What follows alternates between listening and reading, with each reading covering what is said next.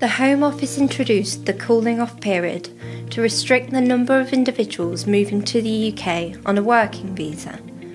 This means where someone already holds a Tier 2 visa will be restricted to re enter the UK on a Tier 2 visa over the next 12 months from the date they left the UK. Do note there are some exceptions to the rule. Speak to one of our lawyers for more information.